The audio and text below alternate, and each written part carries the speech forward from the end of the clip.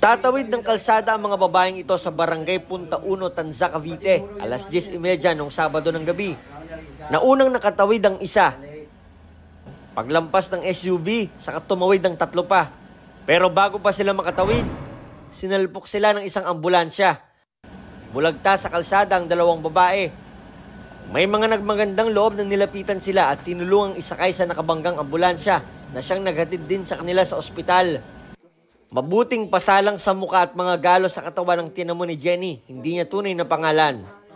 Siya ang tumama sa unahang bahagi ng ambulansya. Napabarya po yung classmate ko.